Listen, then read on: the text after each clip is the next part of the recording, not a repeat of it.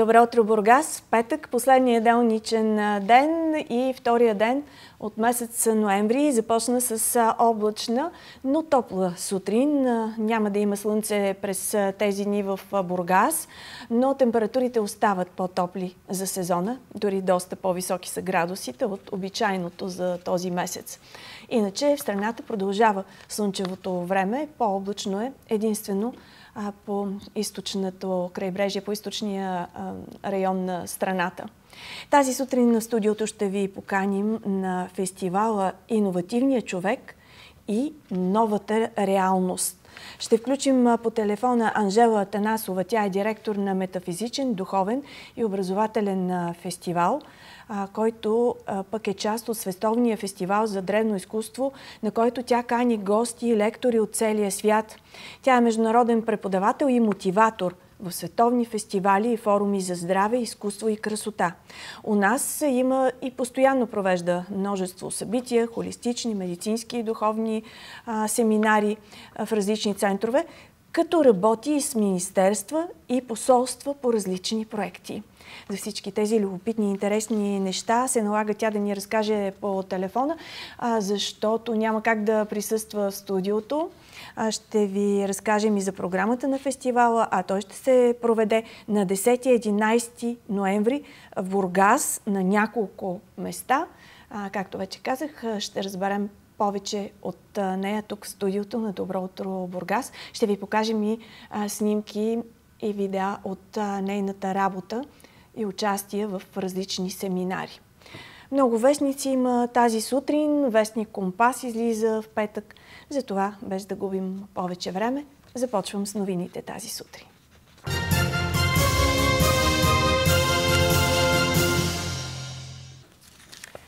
Повече за винетките и тол таксите, които ни предстои да започнем да плащаме.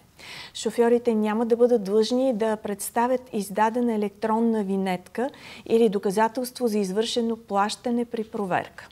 Наличието им ще се установява от контролните органи само по електронен път. Това предвижда проект на наредба за условията, реда и правилата за изграждане и функциониране на смесена система за таксуване на различните категории пътни превозни средства на база време и изминато разстояние.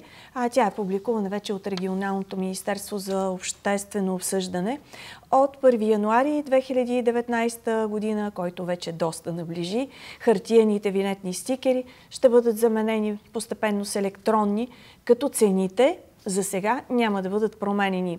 За леките автомобили се въвежда и уикенд винетка през 2019, която ще въжи от 12 часа в петък до 23 часа и 59 минути в неделя същата седмица. До 16 август 2019 винетка ще трябва да имат и водачите на тежкотоварни автомобили, а след тази дата те ще плащат тол такса.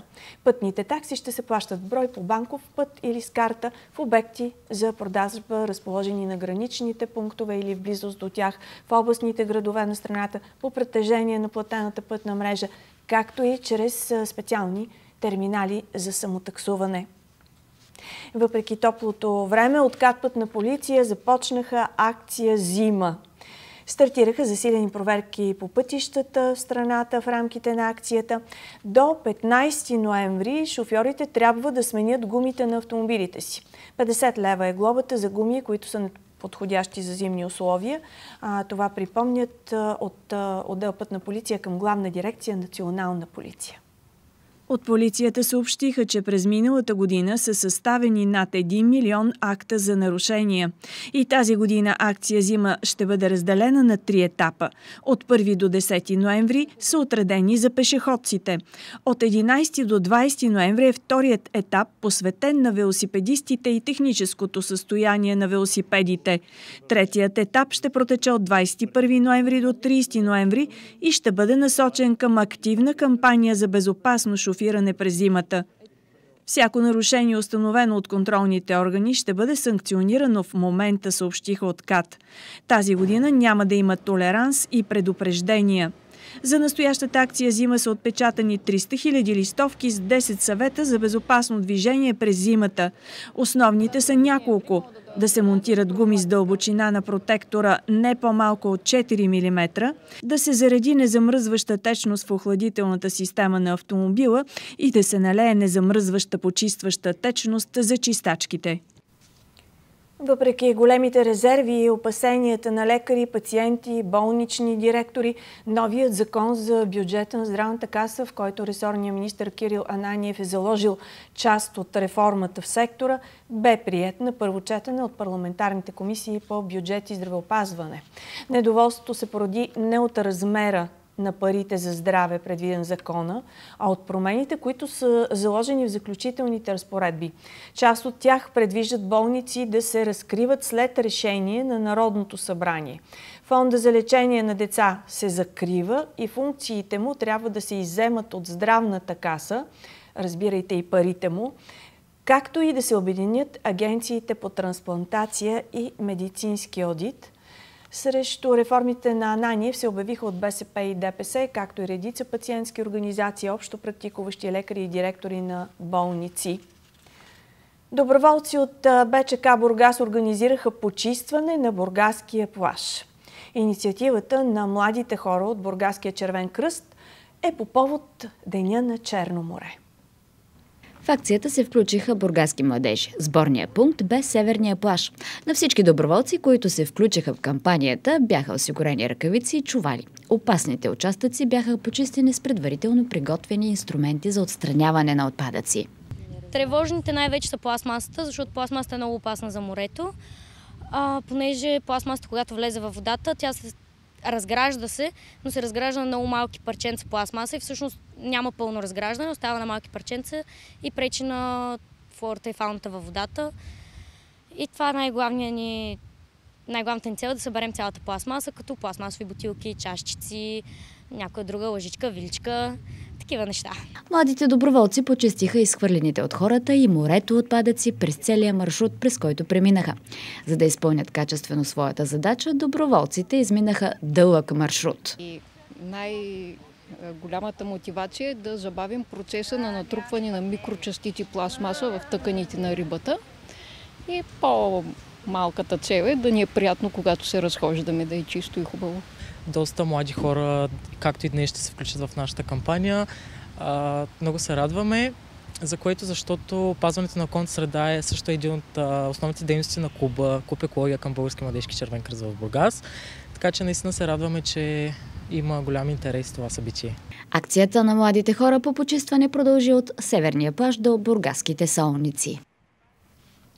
Продължават скандалите с българското гражданство, което разбрахте колко е струвало в Агенцията за българите в чужбина от 5000 до 8000 евро.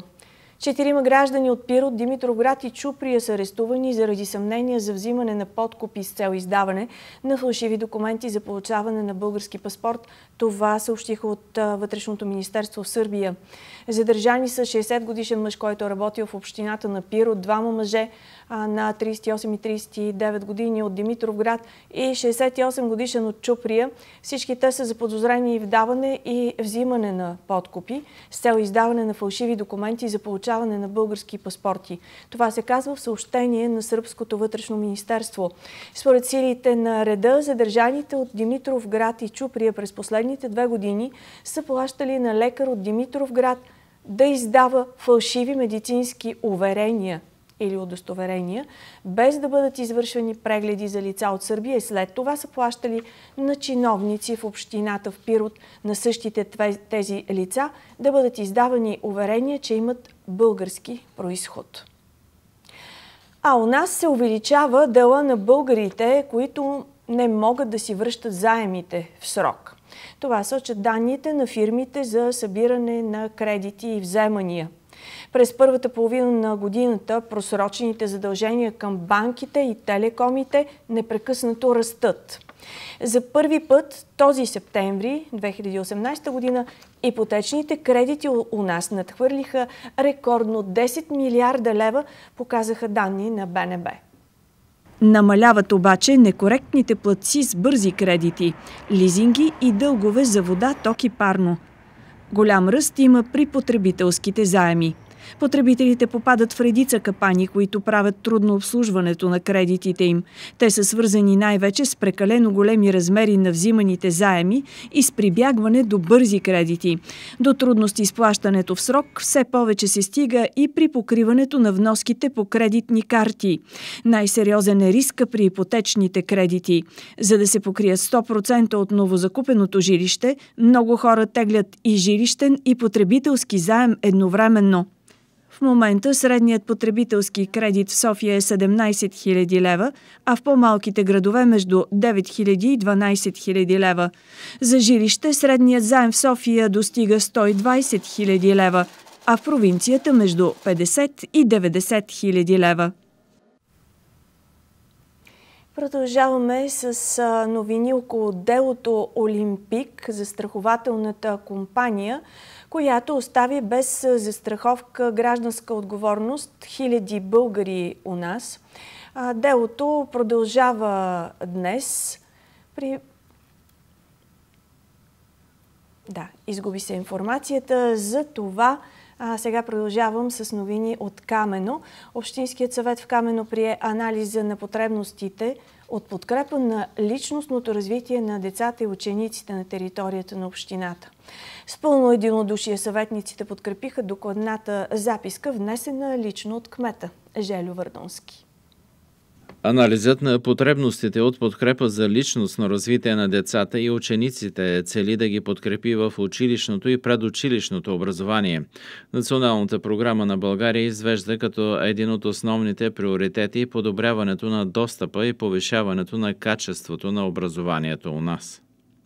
Тя е доста дълга, нали? но е свързана с работата нали, просто на възпитателната, така да се каже, и образователната система в общината. Кметът Желю Вардунски сподели, че на територията на община Камено почти няма деца и ученици, които да не посещават детска градина или училище. И още от Камено. Общинския съвет в Камено прие анализа на потребностите а, и за даренията в общината. Общината открива инициативен комитет Милосърдни за Камено. Това решиха на сесията си в Общинския съвет в града. Целта е инициативният комитет Милосърдни за Камено да контролират събраните средства от различни дарения, които да се насочват към лечението на болни и нуждаещи се хора от общината. Последният случай, в който община Камено помага за лечението на болно дете е малкият Божидар. За жалост, детето не можа да пребори болестта, въпреки че средствата бяха събрани. Имаме такъв опит. А, имахме едно дете Божидар, Бог да го прости. Цяло Камено събрахме пари нали, и средства. Нали, детето, но така или иначе в общината сигурно има и ще възникват още такива случаи.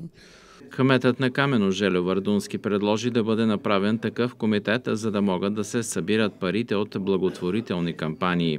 Средствата задължително трябва да бъдат на разположение на нуждаещите се болни хора от общината.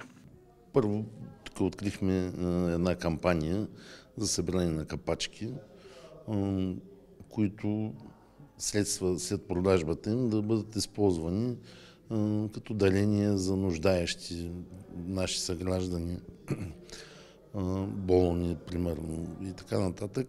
За целта Община Камено ще открие дарителска сметка, където ще бъдат внасени парите от благотворителни кампании. Комитетът, който се състои от 4 общински съветници и гражданин на Камено, ще разпределя средствата на нуждаещите се граждани. Тази банкова сметка да бъде извън общинската дарителска сметка.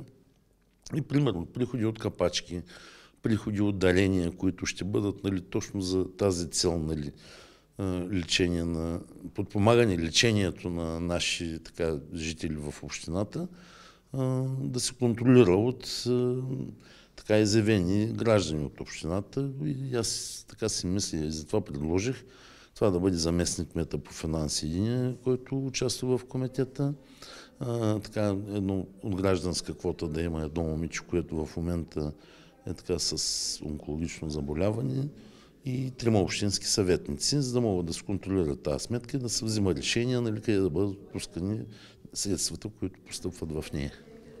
За председател на инициативния комитет бе избран общинският съветник Иван Димитров. С пълно единодушие Общинският съвет одобри кандидатурата. Американският президент Доналд Тръмп бе остро разкритикуван заради предизборен клип, в който се прави връзка между неговата опозиция демократите и иммигрантите от една страна и тежката престъпност Съединените щати от друга страна. Републиканци осъдиха видеото и го нарекоха отвратително. Те заявиха, че от три десетилетия в Съединените щати не е виждано такова нещо, такава политическа реклама, която толкова силно да насажда расово разделение. И още скандали от а, Тръмп няколко дни преди междинните избори в САЩ. А, американският президент обяви, че иска да промени разпоредбите, така че хората, които влизат нелегално в САЩ, да не могат след това да искат обежище, да живеят свободно в неговата страна, докато се разглежда техния случай. В изявление в Белия дом Тръмп заяви, че мигрантите, които искат обежище, ще трябва да се явят, както предвижда закона, на специалните пунктове за влизане в страната. Тези, които нарушават американските закони и влизат нелегално в Съединените щати, вече няма да могат неоснователно, цитирам, да претендират за оставане в Съединените щати. Ще ги държим дълго време, ако се налага, добави президентът и уточни, че семействата ще бъдат държани заедно като а, така признак за хуманност. Може би това са част от причините Чернокош, водещ от CNN, да си позволи да каже в ефир, че, цитирам, белите мъже са най-голямата терористична заплаха в Съединените щати. Телевизия CNN не пожела да коментира мнението на своя водещ, че белите мъже са най-опасните в страната. Изказването на журналиста и водещ Дон Лемън в ефира на CNN предизвика пък остро недоволство и коментари сред консервативните кръгове в страната. Чернокожият водещ Дон Лемън заяви от екрана, че трябва да спрем да демонизираме хората и да осъзнаем, че най-голямата терористична заплаха в САЩ са белите мъже, повечето от които радикализирани десни и трябва да направим нещо по отношение на тях, призова чернокожият водещ Дон Лемън от екрана – той напомни за негативното отношение към запътилия се към САЩ керван мигранти и за неотдавнащините нападения срещу двама чернокожи в Кентъки и в синагога в Питсбърг, за които са заподозрени бели мъже. Говорител на CNN заяви, че нито Лемън, нито от ръководството на телевизията смятат да правят коментари по въпроса. И сега отново анонсирам. След малко ще включим на живо по телефона Анжела Танасова, която ще ни представи фестивала Иновативният човек и новата реалност. Откриването ще бъде с Гайдар и детски фолклорен ансамбъл, с богата програма, преди да започне вечерта с лекторите и медийните партньори.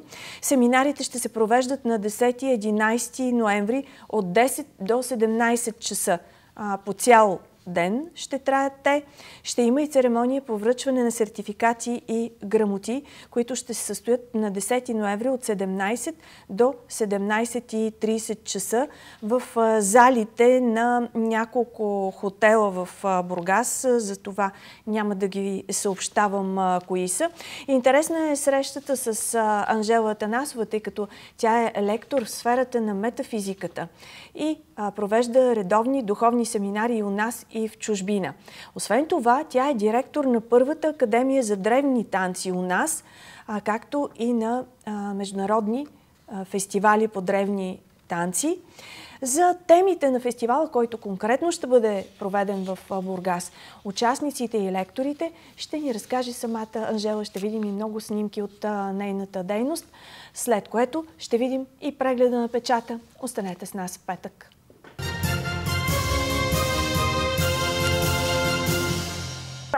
Добро утро, Бургас! Вие сте с утрешния блок на телевизия канал 0 в петъчния последен делничен ден. Много подходящ да ви поканим на един метафизичен, духовен фестивал. А, духовните практики са все по-необходими на съвременния човек, който живее в стрес и забързаното му ежедневие му отнема а, погледа към себе си, а, погледа към тези невидими неща, които в крайна сметка могат да ни помогнат да се чувстваме по-добре в а, точно този забързан свят, пълен с а, проблеми и неприятни препятствия и предизвикателства. Сега на телефона е нашия събеседник тази сутрин. Аз вече ви я представих няколко пъти. Анжела Атанасова. Тя е лектор в сферата на метафизиката, провежда редовни духовни семинари у нас и в чужбина. Директор е на първата академия за древни танци у нас. Много интересни неща може да ни разкаже. А за съжаление няма как да присъства на живо тук в студиото, така че Казва ми по телефона. Добро утро, госпожо Атанасова. Добро утро на целият екип и на всички наши зрители слушатели в сутрешния блок на предаването. Добро утро за Бургас. Добро утро, Бургас, ви казваме и ние. А, вие, разбира се, не сте още в Бургас, но ще дойдете. Кога, а, а кога пристигате в Бургас и какъв е повода? А, представяме един а, фестивал, фестивал, който се състои от а, духовни семинари и практики. А, кажете на каква тема е фестивала, кои са лекторите и какво ще се случи в Бургас? Започваме с а, подходящата тема новата реалност и иновативният човек. Така сме заглавили и дебютното издание на този фестивал, който обхваща разнообразни теми в сферата на психологията, квантовата физика, разнообразни методи за удължаване на живота в клетките, в нашите клетки, в нашата ам, красива вълшебна реалност, така да го кажем, метафорично. Започваме на 10 и 11 ноември като дати. От 9.30 на 10 ноември в хотел Аква, зала Амфибия. Имаме официално откриване с а, българска традиционна гайда, пита и фолклорни танци – след което се провеждат лекциите от 10 сутринта до 17.30. Имате и връчване на сертификати и грамоти, което пък е на следващия ден. А, традиционно ли връчвате такива грамоти на участниците във вашите семинари? За нас е важно да покажем уважение за труда и за а, във времето усилия човек да разгърне своите потенциали. За тази, цел сме предвидели точно тези почетни грамоти към абсолютно всички лектори от цялата страна, които присъстват а, като гости, преподаватели, за всички медийни партньори и за всички участници, които а, решават в своя път да се разгърнат към една нова реалност. А кои ще бъдат а, лекторите на семинара? По какви теми? Основните лектори са от Пловдив, от Варна, от Бургас, от Севлиево. Имаме гостенка специално, която ще дойде от Валенсия и от Лондон. И съответно от цялата страна ще имаме участници, които ще се включат в събитията. Лекциите са на различни теми. Една част от тях свързани с психологията, но в по-алтернативен вариант. Аз така наричам квантова психология, защото тя вече обхваща малко по-обширни теми, не само стандартната психология, която се изучава в университетите, е малко по-разгърнатия вариант. Няма как да а, задълбочено да обясним, а, за това каним хората да дойдат на място и лично да разберат, да се включат, да научат, ще имат възможност да задават въпроси, нали така? Точно така и имат опция не само да задават въпроси в дискусия по време на събитията, а и след самите събития могат да направят лични срещи с абсолютно всеки от лекторите. Само, че е, искам да ви попитам чисто практично, за какви наши проблеми ще могат да ни послужат за заниманията ни, повлияни от тези а, семинари, практиките, които бихме могли да научим. А, как можем да ги приложим в нашето ежедневие и как могат да променят живота ни? Основно теми, които разглеждаме, засягат здравословното, емоционалното, психологическото състояние на нас, самите хора. А, значи една от темите, които ще разгледаме в а, лекциите, се нарича руска матрица на успеха. Тя дава възможност един вид като карта да разгледате вашите лични потенциали за разгръщане. Тоест, там, където ние имаме неразгърнат потенциал или някакъв вид а, стопиране, което се налагаме по някаква причина, поради семейна обстановка, поради обществена така среда, в годините, нали, което се е наслагвало като бариера, този вид руска матрица на успеха примерно дава такава опция да разгърнем потенциалите. Да видим унази малка част в нас, която все още има опция за разгръщане, но ние не смеем като че ли да направим крачката, поради някаква причина. А, а лесно ли се освоява а, тази матрица, госпожо Атанасова? Ами, по принцип, така да го кажем в опит, доказано е, че около 60 години е достатъчно на Земята човек да се справи с емоционалните си дискомфорти и а, проблеми. А, сега вече тази естествено доказана теза не означава, че не може да бъде а, променена. Затова казваме, че новата реалност и новия човек предоставя тези инструменти за много по-навременно хващане на тези а, вътрешни бариери в нас, а, да бъдат освоени, да бъдат разгърнати. И по този начин, когато ние освояваме една матрица, тя ни дава позволението да, да се радваме на живота. Затова имаме и такива теми, свързани с иновативното функциониране, т.е. как следваме интуицията си, с така наречената енергийна интелигентност, да знаем повече за нашето същество на енергийно ниво, не само на едно физическо ниво. Така наречено да откриваме мисията на живота си, път, по който ние преминаваме. Имаме много интересен лектор, който говори цяло за биологията на нашите вътрешни убеждения, за нашото ДНК, занимава се с биодискодификация. Тези теми ще ги разглеждаме на живо. Основно с тези лечения, които се така занимават, с квантова психология в дълбочина. Как да видим нашите иллюзии в борбата в партньорските взаимоотношения, основно между мъжът и жената, това как въздейства на децата, на една среда, в която те израстват като дискомфорти, като агресия. Всички тези теми дават практическа насока с една нова альтернативна реалност. Тоест да направим това, което е минус, в плюс и да ги балансираме. За да от, може да от нашата... малко отвъд.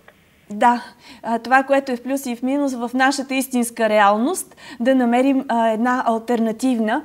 Това ли е новата реалност, госпожо Атанасова? Какво влагате в това понятие? Новата реалност. Коя е новата реалност, в която живеем? Новата реалност е строго индивидуален избор да живееме балансирано, но с именно тези а, мотиви вътре в нас, които ни карат да увеличаваме живота в клетките. Тя е много индивидуална за всеки човек. А, естествено, когато се събере една голяма маса от хора, които говорят за иновациите, естествено, че се получава и така наречената иновативна реалност за една голяма част от хората, за една голяма част от обществото като цяло. Но индивидуално всеки трябва вътре в себе си да погледне какво наистина е важно, за да бъде на една нова пътека. Какво наистина е важно да добави в своя път, в своите преживявания, за да можем ние да направим живота си много по-приятен за живеене на Земята. Разбирам, че има много ситуации, в които е трудно да преодоляваме препятствия, естествено и здравословни препятствия, и финансово емоционални препятствия, и с отношения с хора, естествено. Това са бариери. Но те са за това на нашата пътека, за да създадем нещо красиво и ново от тези неща. А ще има ли танци на семинарите в този фестивал, госпожа Атонасова? Защото аз вече а, съобщих на зрителите, които ви слушат в момента, че вие сте директор на първата академия за древни танци у нас. Първо разкажете всъщност а, за академията. А, кога я създадохте и какви са тези древни танци? Основно древните танци, които засягаме в нашата академия за обучение, са древноегипетските, индийските и персийските стилове. А, така да се каже, в академията се обучават различни дами на различна възраст. А, дори изключваме дами, които имат бременност, защото това го препоръчвам за здравето на жената. На всички нива говорим. Да. Физическо, емоционално, психологическо ниво. При нас идват гости-лектори, които са от цял свят, от световни фестивали, майстори, с които работя. И на база на тези знания, които те носят към нас в България, ние виждаме, че съзнанието на човешкото същество може да се промени. Когато танцуваме, когато се движим, ние създаваме вътре в нас една нова реалност. На баланс, на вдъхновение, на любов, на себелюбие. А, академията е създадена още през 2008 година в София, като има клон в Варна. И тя прерасна в едно голямо глобално семейство, което вече... А, Колко дами наброява? Ами, дамите са на различна възраст, както казах. А, имаме около 100 преминали така успешно курсите ни дами които естествено са вече и на световно ниво и преподаватели, и съди в различни формати, телевизионни, така, танцови шоа преподаваме и като ментори. Но за нас е важно тези танци да подпомагат здравословното състояние на жената, да се чувства здрава в себе си и да се седоуважава. Да, в най-популярен мащаб. И в тази връзка се връщам на въпроса дали, дали ще има а, танци и в Бургас по време на тези семинари или те са а, по-скоро насочени към други практики. Ще има такава практика за свещения танц, който е основан на сакралната геометрия. Една от лекторките е подготвила такава практическа част в неделя. Така че ще има изненада и от мен ще има една изненада приятно с танц. Този танц е специален дервишки е, танц, е, който е, така има много древна, дълга история и философия и се практикува основно за работа с нашата ДНК и за здравето, естествено, на цялото ни същество. А, колко има изненади през всички случаи, подготвяме да. такава. Да, винаги трябва да има изненади, тъй като хората, както вече подчертахте, трябва най-вече да се заредят с положителна енергия. А, разбрахме, че вие ще им представите такъв а, танц на а, дервишите. Колко а, души ще могат да се включат? Какъв е, има ли лимит? А, колко души могат да се запишат да се включат за фестивала на 10 и 11 ноември? Предвидели сме зала до 100 човека, тъй като все пак е първо издание. Да. Няма да връщаме хора, освен тези, които нали, не изберат това. Въпросът е хората да се чувстват като у дома си, да усетят енергията на семейството, на така, приветстването, да се усетят в една такава реалност за самите себе си, преди още да дойдат на самото събитие. Важно е това да резонира с техните интереси. За мен е важно хората да поемат отговорност, когато присъстват на отделни събития. Така че всеки е добре дошъл, абсолютно е отворено за всякакъв вид а, хора, независимо от тяхното ниво на духовното развитие. А, за нас е важно хората да се чувстваме заедно като едно семейство. И да, може би да дадете шанс да открият нов път, именно в тази нова реалност, нов път към себе си. А, тези, тези хора, около 100 души казахте, ще се включат, но а, само дами ли каните? Възможно ли е и мъже да участват? Ето, споменахте семейства. Идват ли понякога хората и с а, съпруга си, примерно? Съпругата, съпруга, семейството? Да, фестивалът е отворен за посещение и от мъже, и от жени, както и от деца или от тинейджери. Няма такава граница, която ние да поставяме. Единствено хората ще си я поставят. Пак казвам, събитията са отворени за абсолютно всички нива на разгръщане на съзнанието в човек, така че всеки един от тях може да вземе иновативната, както го наричам аз, подправка да. и емоция.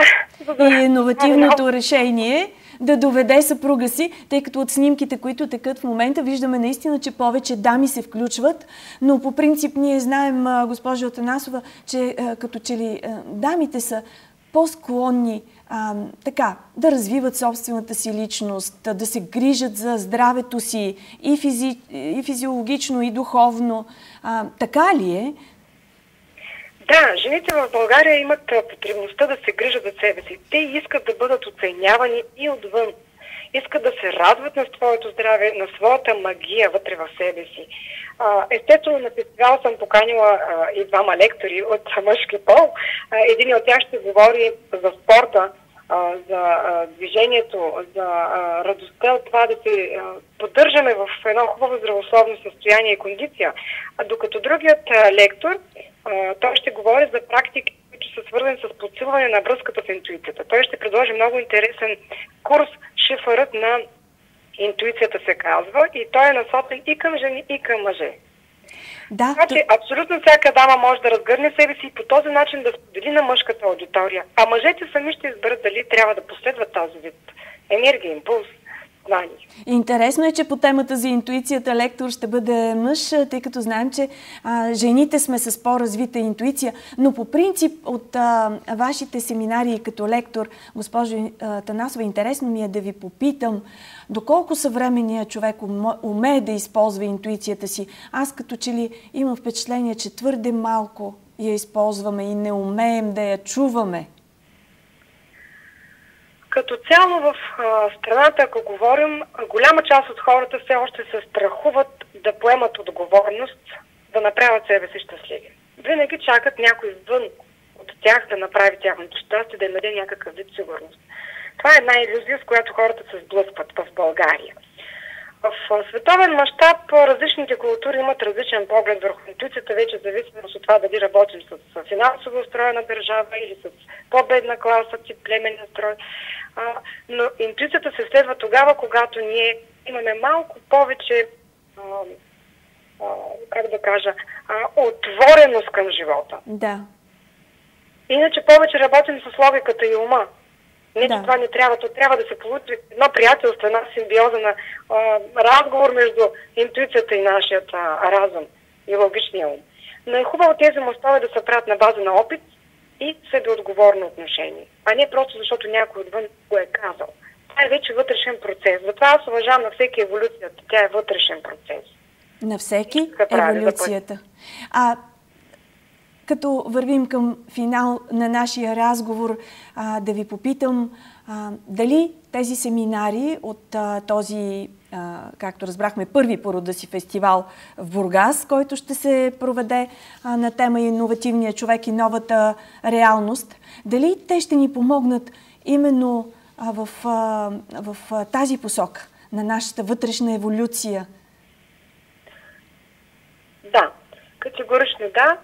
Самата аз а, следвам и по своя път и по опит, че когато ние се срещаме с разнообразни видове лектори, разнообразни типове теми, те винаги отключват в нас, в нашата клетъчна памет, информация, която можем да използваме в нашия път. И затова го препоръчвам този фестивал за всички хора, които са на прага на новото и които искат отговорно да продължат към своят път и една вълшебна нова реалност. И в края само още нещо за вас самата. Вие от колко години се занимавате с подобни практики и как ви промениха те? Какъв нов шанс и път ви дадоха в живота? Като цяло, с цялата тази тема се занимавам от 2003 година, тъй като имах възможността да работя с доктор без граница от Световната организация и бях обучена в невероятно разнообразни практики, теми, сфери, които обхващат метафизиката като цяло, не само стандартната видове медицина и психология, а метафизичния свят на, на този тип материя. Имах възможността да работя с американци, с руснаци и съответно с а, учители, които са от Индия, от а, Хималаите, Мексико, Латинска Америка като цяло. Имах тази опция и съм много щастлива, защото видях на абсолютно всеки един от тези лектори пътя, а, опитността. Но най-хубавото, което разбрах от тези хора е да следваме нашия път. Да не бъдем последователи на конкретен тип лекция или на конкретен тип човек или философия, а да създадем нашия. Това се изразява именно и новия човек, и новата реалност.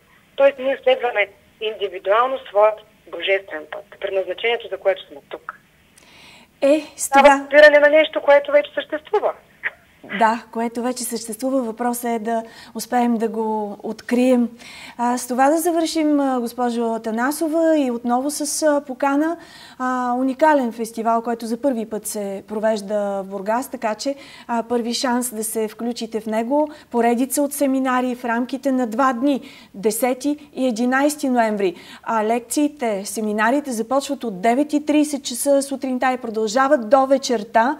А, 17 часа е посочен, обаче аз съм убедена, госпожо Атанасова, че и до по-късно а, ще продължат, а, след като се съберете толкова хора единомишленици. Семинарите са духовни, метафизични, ще може да се срещнете с много интересни хора и от България, и от света и да дискутирате с тях въпросите, които стоят пред вас в посока новата реалност. Новата реалност, която всички трябва да открием в самите себе си. Благодаря ви, госпожо Атанасова, че се включихте. Желая успех на вашия първи фестивал в Бургас и да станат традиционни. Благодаря на всички и много здраве и любов, вълшебна еволюция за всички. Благодаря ви. Това беше Анжела Атанасова на 10-11, пак казвам, метафизичен, духовен и образователен фестивал на тема Иновативният човек и новата реалност. Сега останете с нас да погледнем и към вестниците в петък.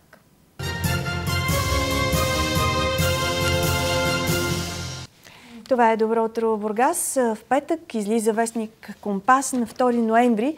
Той е избрал водеща снимка от едно, не едно, а най-популярното място в Бургас, на Бургаския плаж. Тази година есента е благосклонна към нас за по-дълъг период. Сериозното затопляне радва бургазли вече цяла седмица. Всички синоптични прогнози са за необичайно топло за сезона време през следващите дни. Есента не бърза да си отиде е коментара към снимката на първа страница на Вестник Компас, а към коментара е добавен и цитат на Елин Пелин. Златна есен, златни листи рони, птичка пее на голите клони. Полицията започна акция Зима, четем и от вестник Компас, в противовес на това, че времето е много топло и изобщо не е подходящо да слагаме зимни гуми. Въпреки това, полицията започва акция Зима с кампании и проверки. Добрата новина е, че това всъщност ви го съобщих в новините. Кампанията, акцията започва първо с фокус върху пешеходците. Ще бъдат проверявани и глобявани пешеходците. След това полицаите преминават към а, велосипедистите. А, ще бъдат проверявани велосипедистите, може би с дрегер, но ще бъдат проверявани и велосипедите им, а дали са в а, техническо състояние, подходящо вече за по-тъмни тъмните вечери, с светлини и в добро техническо състояние, може би ще бъдат мерени грайферите на гумите. Не знам точно велосипедите как ще бъдат проверявани, но от 20 ноември нататък всъщност започва третия етап на акция Зима когато вече започват да се проверяват и а, автомобилите, тяхното техническо състояние и а, грайферите на автомобилните гуми. В тази връзка да ви кажа, че в понеделник предстои пресконференция по темата за акция Зима и в областна дирекция на МВР в Бургас. Така че оттам ще ви покажем вече и подробности за това как ще протече акцията, кога, кой и как ще бъдат проверявани. На трета страница среща с Димитър Рачев, който е а, цитиран. Искам галерията ни да бъде един светъл, а, духовен оазис. Става въпрос за художествена галерия. Тя е нова, поредната, в което няма нищо лошо, разбира се. Защото в града има толкова много творчески заряд, толкова много енергия, която блика от всякъде, трепти, вълнува, създава мостове помежду ни и между всички изкуства. Няма как да не се създаде още един духовен оазис, така е нарече нейният собственик Димитър Рачев. А, интервю с Димитър Рачев на Роза Максимова. Много интересно. А, другите интересни теми. Алдебарам на страница 6. Нека сме бдителни, за да не станат Балканите нова Сирия, препоръчва той. А на седма страница на литературен уикенд гостува писателката Лилия Христова – до сега бях запозната с, ней, с нейни разкази. Сега наскоро излезе и новата й книга Перо от Котарак. Също с разкази, която се приема с изключително голям интерес и висока оценка. Черноморски фар в петък, 2 ноември. Англичани стават бургазлии звучи ми като в една песен, само че не ставаше дума за англичани. А, та, а, знаем, че преобладаващото така чуждоязично население в Бургас за сега е руско, рускоговорящо. След Брексита обаче, представете си, а, се очаквал бум на англичаните, които ще дойдат да живеят в България. Сега това дали ще се случи, малко забавно ми звучи, но а, вече било факт според Черноморски фар. Все повече английски семейства идват да живеят в Бургас заради Брексит. Съобщи евродепутата Ангел Джамбански. Знаем, че той е един голям патриот. А, така че не знам дали това е само в неговата глава или действително е така ще видим от статистиката. Пред журналисти Джамбаски каза, че се е срещнал с градоначалника Димитър Николов, който му подарил картина на остров Света Анастасия. С кмета обсъдили и въпроса с англичаните. Говорихме за това, как Буркас да привлече повече британски граждани, които искат да останат в Евросъюза, т.е. в България. Имаме символика, море и много общи неща – Бургас е град, който би заинтригувал младите и ще търсят начин да останат европейски граждани, английските граждани, които вече няма да бъдат европейски граждани, знаем. По всичко личи, че процеса по напускането на Великобритания ще бъде без споразумение. Не могат да се споразумеят там. Какво ще става? А, не е ясно. Ясно е само, че се очакват огромни затруднения. А, сериозни затруднения на гражданите от Обединеното кралство, затруднения за търговията и вероятно много граждани, а, така според спецификата на дейността на фирмите им и бизнеса им, ще започнат да търсят как да запазят своя бизнес в Европейския съюз и тук може да се намеси България.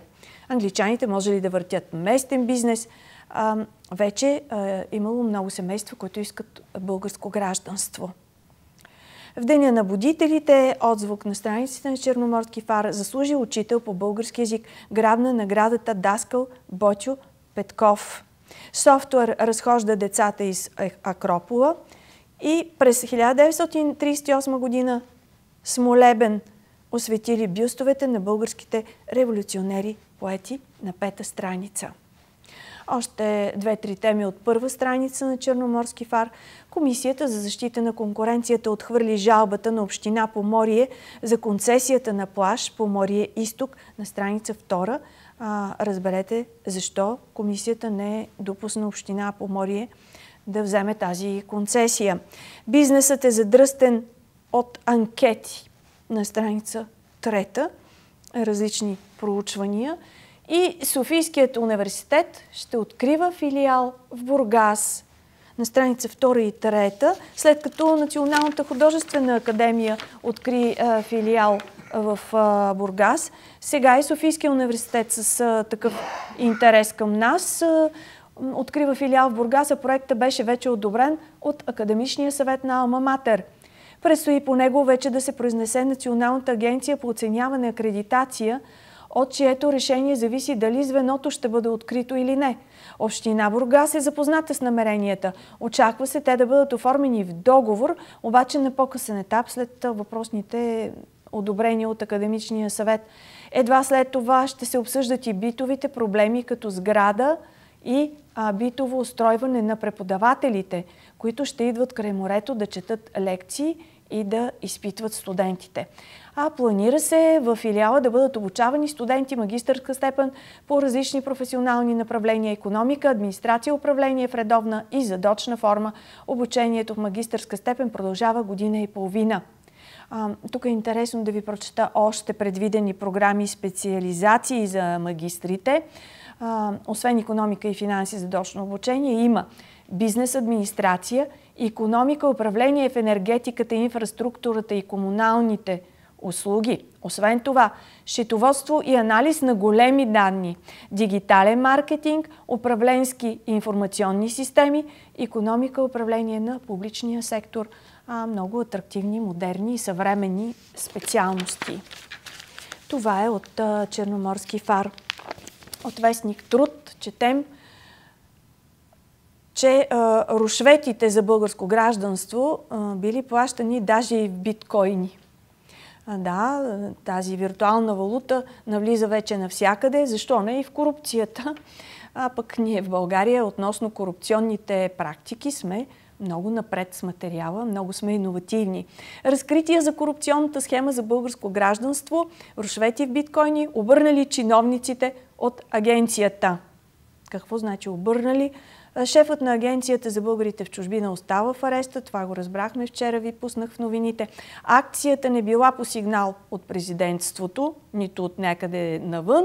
Тя си била акция на полицията на Министерство на вътрешните работи. И тук още разкрития.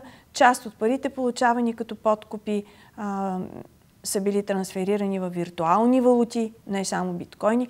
При обиските са намерени биткоин портфейли и се смята, че те са пълнени с реални пари от рушветите. А специализирания съд остави за постоянно в ареста Петър Харалампиев и още двама служители на агенцията. Всичките замесени до шия в корупционните практики. И завършвам с а, а, снимката на първа страница. Борисов посрещна Нетаняхов е в Синоград. Министър-председателя Бойко Борисов посрещна израелския си колега в резиденция в Синоград. Премьерът на Израел пристигна в България, за да вземе участие в срещата на високо равнище с държавните лидери на Гърция, Румъния и Сърбия, Алексис Ципрас, Виорика Дънчила и Александър Вучич, която започва днес. И нейн домакин ще бъде а, нашия човек Бойко Борисов. На пета страница прочетете още. Това е от а, труд. Стандарт ни изненадва с нов път. И какво четем? Стандарт с нов път. Стандарт, също като а, нашия компас, става ежеседмичник. Става седмичен вестник. И спира да бъде ежедневник. Новините всеки ден в нета, а анализите в петък на Сергията. Така е описал а, новия си начин на съществуване вестник Стандарт. Ежедневния му брой ще излиза само онлайн, както между другото е и вестник Компас. Можете да го следите на сайта на Компас с всички актуални новини и информации. Обаче Компас на хартиен носител излиза само в петъчния ден. Стандарт поема по нов път, четем от Стандарт, в Деня на народните будители. Направихме една от най-важните крачки в 26 годишното си развитие. След като показахме стандартите за свястна и съвестна печатна медия, сега влизаме ударно в света на интернет. Закамват се от стандарт. Хвърляме всички усилия в преобразената агенция Стандарт. Тя е последната дума на асовете, създаването на информационни сайтове – най-голям кос е екипа на стандарт, който ще се труди, а, за да не чакате новините, анализите, четете ни онлайн. Но най-интересното написано, черно на бяло, ще тежи най-много всеки петък, пише от стандарт. И накрая с лека горчевина четем Тръгваме по новия път, защото искаме да бъдем независима онлайн медия – с най-добрия седмичник, вместо да бъдем принудени да се превърнем в послушен всекидневник за бързи поръчки. Сами разтълкувайте какво означава тази горчива равносметка. На втора и трета страница прочетете повече. И накрая спорта. Левски поиска главата на съдийския шеф. Сините не желаят и реферите Георги Кабаков, Станислав Тодоров и Ивайло Стоянов да ръководят мачовете им. Нещо... съдиите са им криви, доколкото разбирам, но защо? Прочетете на четвърта и пета страница. Първо а, искат главата на Йордан Сталев, съдийския шеф, а след това и още трима не им се харесват. Ботев пък би Бероя в битката за Тракия след нова драма с Дуспи. Чилич сложи край на мъките на Гришо, след като го победи, от тениса на страница 19. ЦСК губи двама чужденци заради паспортите им. И тук скандали с българското гражданство. Чуде се защо не са дали там едни 5000-8000 евро. Та всичко да е наред. И дерби Арсенал и Тотнам бият, срещат се за купата на лигата. С темите от спорта Приключваме прегледа на петъчните вестници и така се разделяме в сутрешния блок в последния делничен ден. Пожелаваме ви много хубави почивни дни. Бъдете с нас отново в понеделник. Довиждане!